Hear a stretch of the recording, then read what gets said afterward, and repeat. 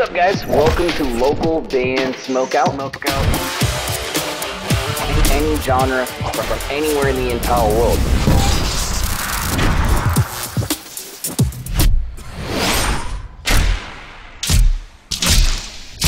I, I want to hear your music. Make sure we're good on our end. We are, ladies and gentlemen, Michael Martin of Never Rest. Give me a hell yeah!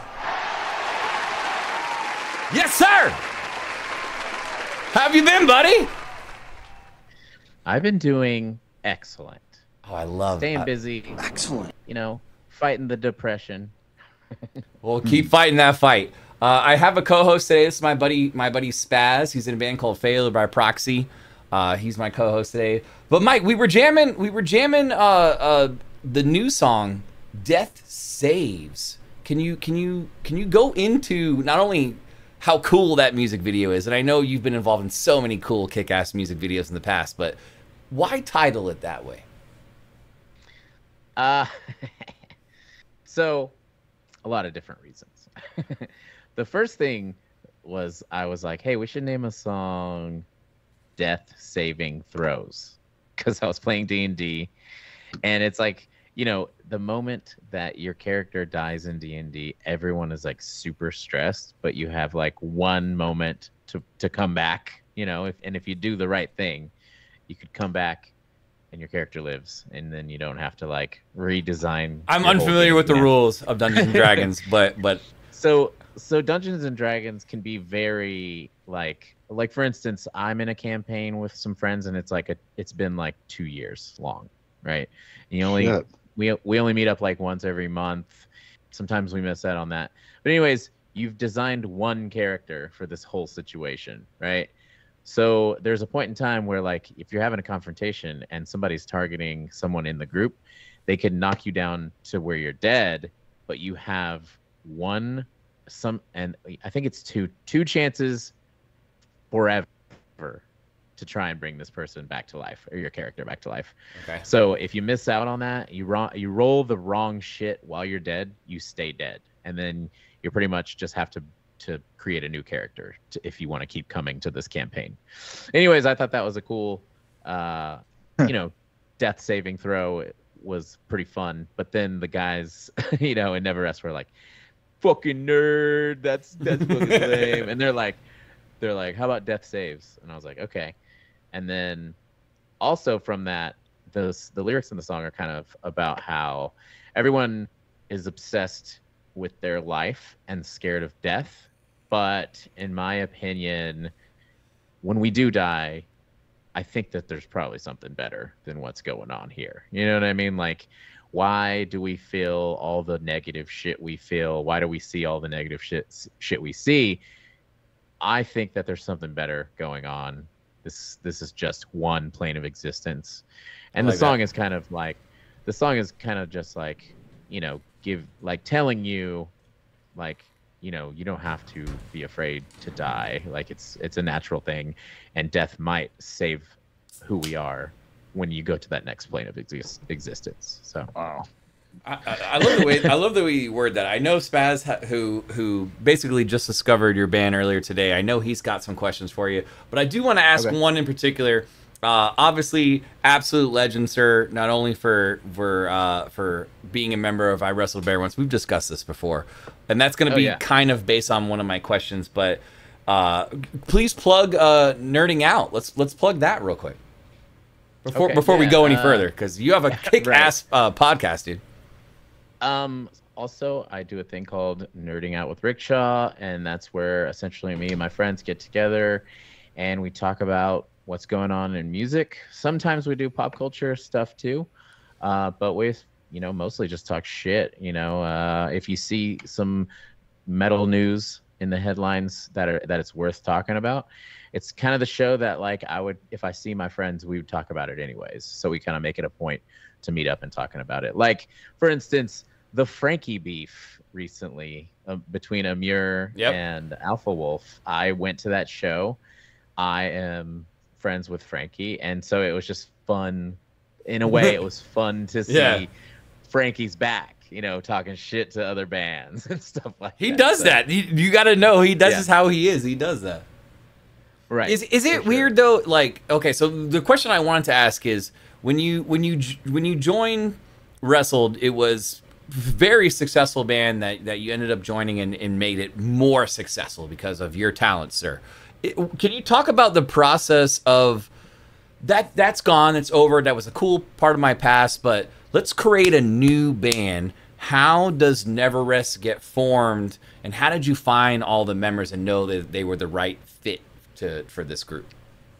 So essentially, okay, let's but let's okay, before I get started with the Never we will talk about how tough it is to come out of a band uh, like I Wrestled a Bear Once. We all decided that we're quitting the band. This band is no more. We all quit. We move on. And a part of me is like, well, I'm gonna live normal life now. I'm I've had my time with music and it was tough and whatever, but I'm I'm moving on.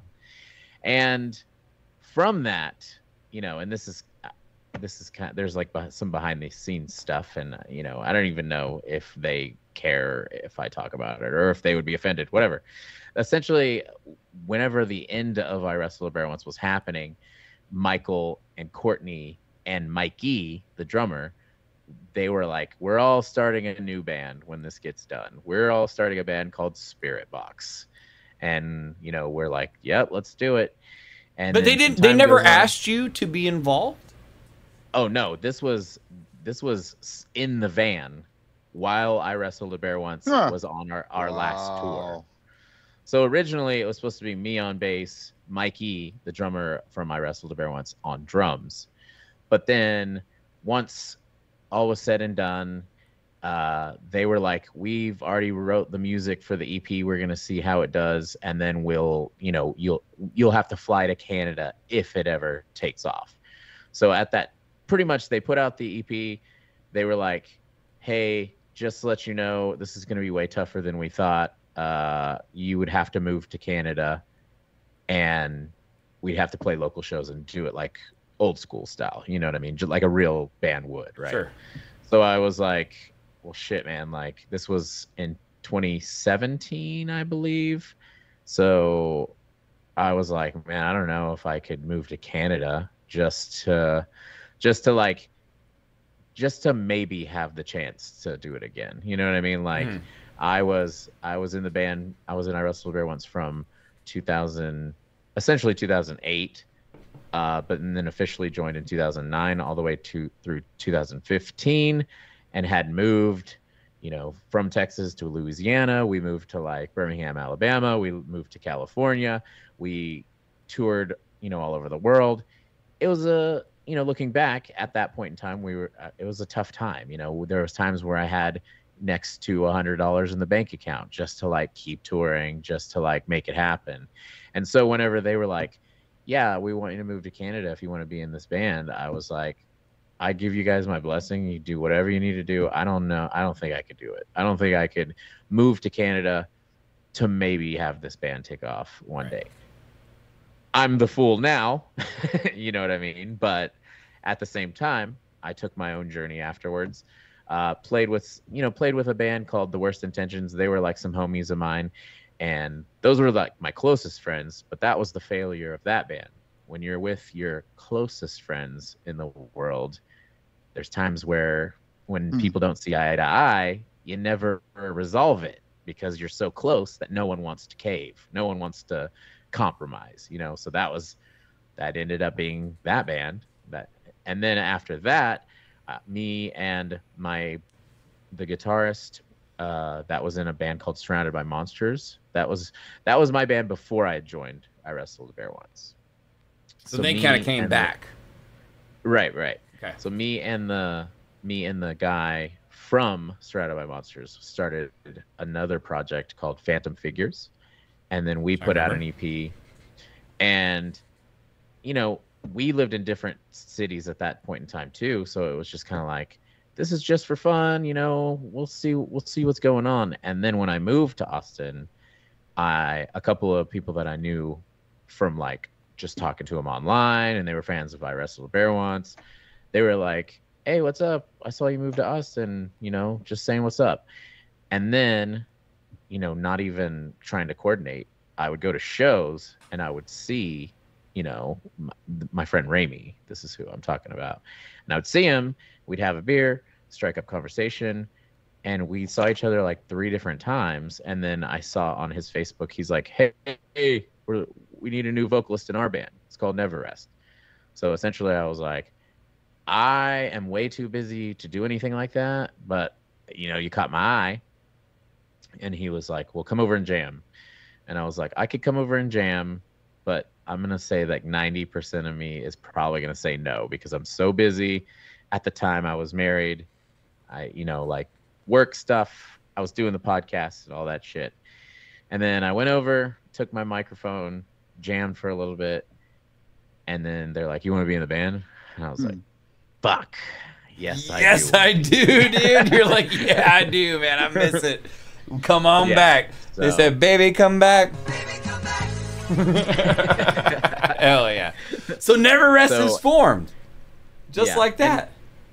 and it- something I do want to add to that is like you can, you know, if you do something like music and you know you, you could decide everything in life you decide stuff about it and you make your own standards but that's never the way it's going to go because you know when you are in a relationship with music sometimes you just need to be around it. Sometimes you just need to do it and like you can never just decide i'm done with music because then you're going to feel like shit when you're not doing it. You know what i mean? So that's i give everybody that advice like you could you could pretend like you're just completely done with music but you're probably fucking up by not like letting all that shit out you know what i mean Spaz, I know you have some questions. Go ahead and shoot them. Hell yeah. What's up, brother? I'm a Texan. What up? Uh, born and raised, born and bred, whatever you want to call it. How is Nice. Sixth Street right now? Sixth Street, honestly, I don't go much. Uh, I know that Casino El Camino is a bomb ass burger spot that I will still show up to every now and then. But Sixth Street is pretty ghetto. Uh, you really? know, I I mean I will say this though, like I am at an age to where I don't rage anymore. And I feel like that's a good spot to rage. You know what I mean? Like Right. if I was in my late 20s and I'm like trying to go out and get blasted on tequila and wake up in a stranger's bed, Sixth Street was probably still going to be fun for that. You know what I mean? For sure. but but I am kind of a I'm kind of a two beer pass out at home kind of guy now. I, guar- I guarantee I'm, old, I'm older than you, but you know, it's like, so how far south have you gone with your band? Like for whether you're touring or just one-off shows here and there. I mean, are you guys hitting like Corpus Christi? Are you hitting Rio Grande Valley, Um, Houston? Like, where are you guys going in the Texas era? So since I've been in the band, uh, since you know I I joined in like August of last year, uh, we have went San Antonio, we have went Corpus, we have went Houston, we have went Lubbock, we Mhm. have went uh, Abilene. You know, so we're we're like tr- trying to get out there, but it's also the type of thing where like the, it's so hard to read the scene now. It's so Mhm. hard to to break through in the internet. You know what I mean? Like just everybody's out there trying to get it. And uh, I think that nowadays you really have to play smarter and not harder. Like it's it's like obvious I do want to go places, but like if you're gonna show up to a show where no one knows about your show, then it's not worth it. You know what I mean? Like like it's fun to play a show no matter where at, but nowadays you have to like hit it hit it where it counts. You know what I mean? Right. Like like hey, like we got uh invited, you know, we're essentially fucking friends with people in lots of random places and it was like, hey, uh Capra's coming through. Capra and uh who was it? Slow Pulse. Capra, Slow Pulse, uh, and our homies were like, "We want you to come drive down, which is like a seven-hour drive or whatever." Mhm. But it's like, but we got a spot for you. Sounds good. We're playing in front of Capra fans. We're playing in front of Slow Pulse fans. That sounds great. You know what I mean? Was it wasn't a huge show, but for the for the amount of people that were there and the impression that we make, I was happy to do it. But there are times where you show up and like literally everybody at the place Is It's everybody like- playing? it's like everybody there is like there to see the different genre headliner. Right. You know what I mean? So it's like it's like man, maybe we shouldn't have taken a show where we're not along we're we're not aligned with the headliner. You know what I mean? So the people See, that are waiting a- for the headliner. And, that's a good point, you know, because somebody like myself being in a band, we're new metal, and we've been asked to join with metalcore, or scream, like name whatever genre, and it, besides Mhm. like Tejano or whatever. And it's always like, as a band, it's do we want the exposure? Do we want the potential to maybe grab an extra fan, or it's just like that's not our scene, and you don't want to look. You don't want to embarrass yourself, you know. Like if we were to go to Right. uh, play a show with a, a band that's just straight screaming, we're gonna get like laughed out of there. You know what I mean? Right. Yeah. Um, I, I have a two-part question, and then and then I'll shut up. Um, Okay. First part is: Was it hard putting that VHS tape in the the the? was that on purpose? Yeah, uh, no, no, that was that was definitely an old broken ass, you know, like TV VCR combo, and they're like, you know, hey, action, and let's just put the tape in there, and I'm like, oh shit, shit, and it was like literally me just being like, improvise, improvise, get in there, son of a bitch. So So my second question is: I googled you today, um, okay, and you guys and again i'm texan so i, I loved i love texas. It, it's like it's like my flag. You guys are known as texas hardcore. Okay, uh that's like its own little what the hell? That's some big shoes bro. Like how does that feel? Like if somebody were to google you and it's like what the hell's texas hardcore? And then i saw the video bg had sent it to me earlier and i'm like these guys are fucking sick There's So, a I mean, there's a that's- that's particular sound that kind of comes from Texas, like a southern metal kind of riffage style that just Yeah. generates from that area, and you and you guys have that vibe. it's it's funny that you would you say that because like the the the thing about that sound, that little tiny bit of twang that we have in our sound is because all of us were influenced by Every Time I Die. Okay. so it's like wow so it's it's funny to think that you're like, oh, this sound with Texas hardcore that makes sense, but we're influenced by a band from Buffalo that does like a southern twang. too. Right. From Yeah. uh, upstate New York. Uh, two two part question Right on. on my end. Um, what what can we what can you plug for, for what we can look forward to for Never Rest the rest of 2024 shows uh, EP release? I know that you joined less than a year ago, but what can you look forward to? And then my and then we'll answer that one, then I'll get to the second one. Okay. So with Never Rest, uh, we originally were working on an EP, but uh, you know, it's the type of thing where like I'm not. I think we should utilize the internet and market ourselves the best we can. And whenever it comes to like releasing music, just doing singles is the type of thing that everyone's into right now. You know, like you put out a single and you seem to get optimal like attention Right. and then it starts slowly dying off once it's once it's had its little heyday and then you do another single and it ramps up a little more and then repeat and you know so it's the type of thing where like i we wanted to do an ep and we eventually want to put this out as an ep but we definitely have aside from the two songs that just came out we have like four more that we're working on that are like 90% done. We just kind of have to polish them up and start. And I have to start working on the vocals. I mean, I've already started working on them, but I have to fucking bang them out. You know what I mean? Uh, so I, I would say, and then every time that we're like pushing almost being done with a single and we're about to send it to get mixed and mastered, we are also trying to set up a video. So every single single every single single that we have coming out, we're going to do a video Cool. and just try and work it out like that. Uh, also, our plan, you know, for all of these singles, which we we just got done with a run of shows, uh, that has kept us a little busy. but you'll see from now on you'll see the video. Then you'll see the you know the audio streaming you know a little bit afterwards which death saves is coming out on friday on streaming. So you will hear that you know on spotify whenever friday. Wait tomorrow? Yeah tomorrow. And then the next Tomorrow's week Wednesday. you will oh shit. Yeah. Yeah. It's what it's like having a job and anyways yeah friday the it will be out on spotify.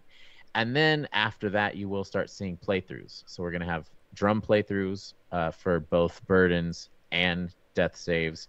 We're going to have guitar playthroughs for both of those. We're going to have vocal one takes for both of those. Nice. and then we're gonna do repeat the same process with our next single which i'm guessing would be in july so yeah we're gonna try to try to do it like that try to keep it rolling Mike, did you bring hot sauce?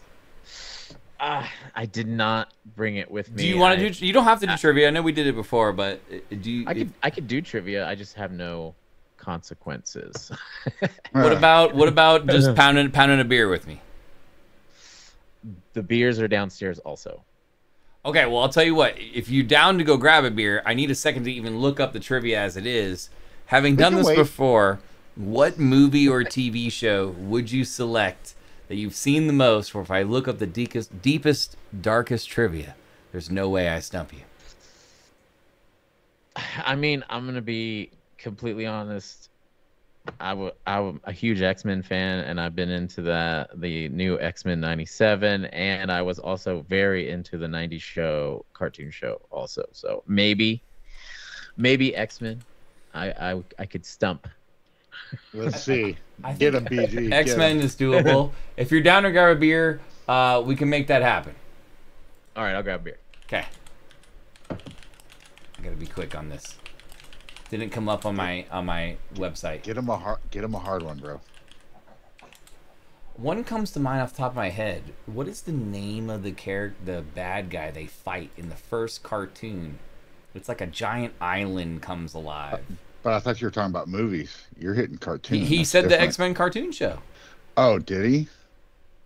Uh, one second.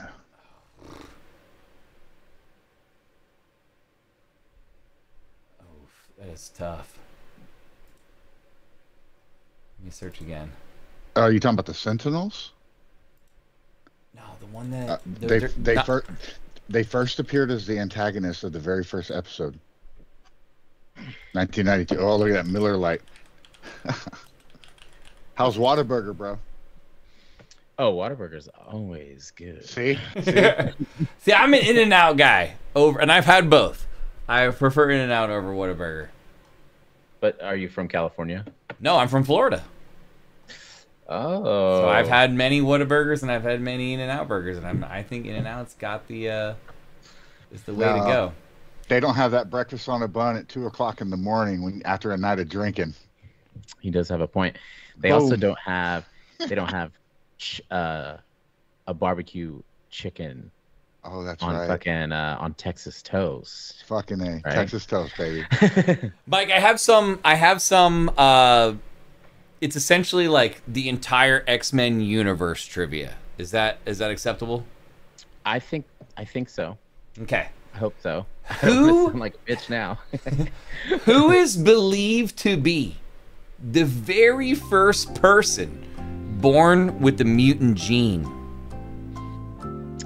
Uh, Apocalypse. Motherfucker, that is correct.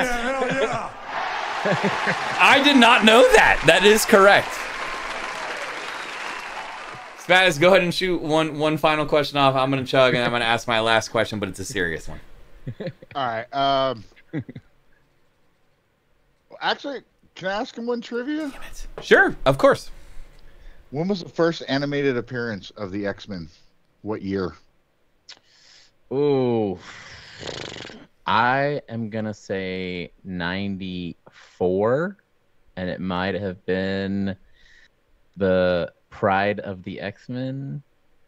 Uh, we got you. 1966. Oh, dang. Got him. Enjoy your beverage. Uh, I, I do want to ask you a question, Mike. Last time you were on the show, it's been a while.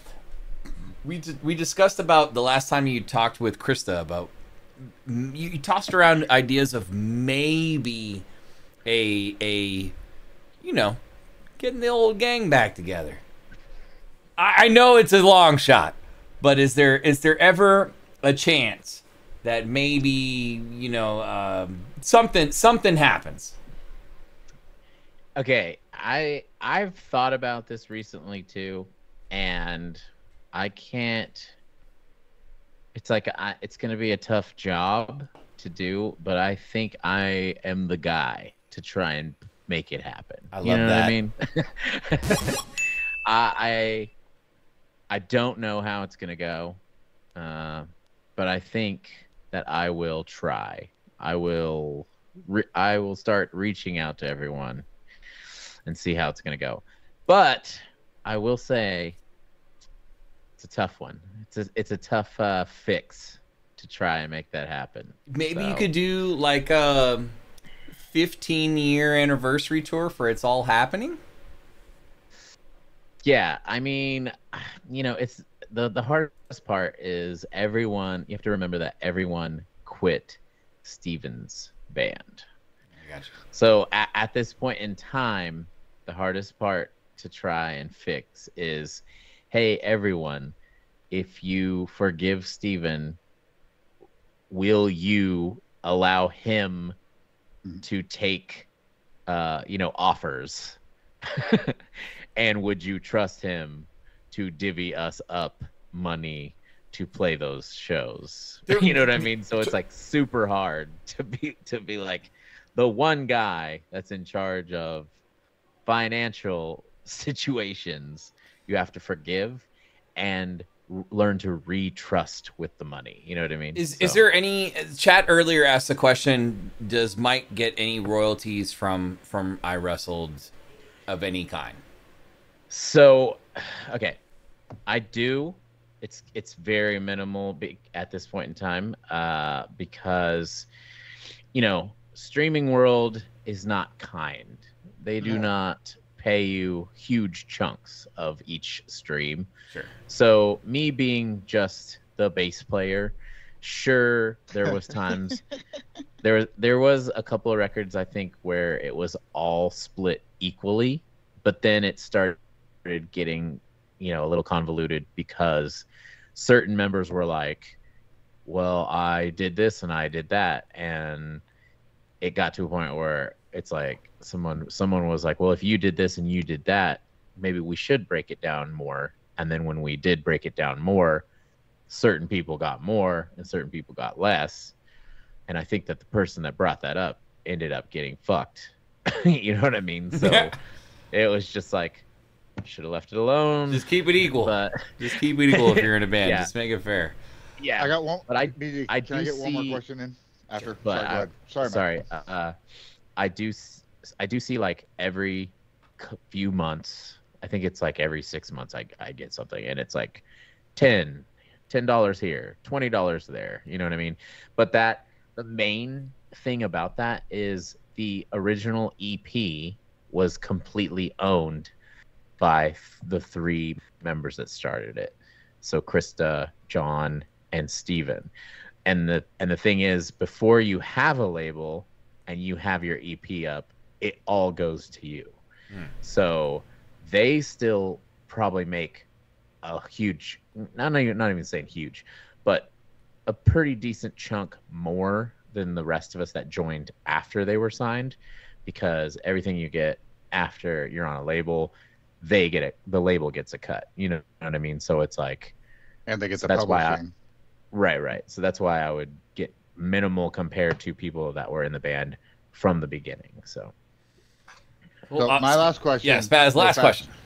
Okay, and I have a last question and a statement. Last question is: Are you ever open to collabs with unsigned artists? Regarding vocals or or? Vocals ba- vocals bass or whatever.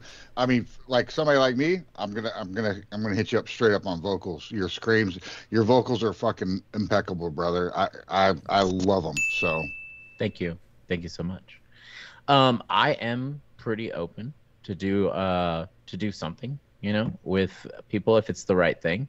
Right. Um, right now though, also, I, I didn't get to this, but me and me and our guitarist Dustin in Never Rest have started the idea of us doing covers also, and so we're working on some covers just to have some content that keeps coming out on top of the new songs that we're working on. But yeah, but if it's Right the right, you know, the right song, the right fit, I would be down to work on some shit.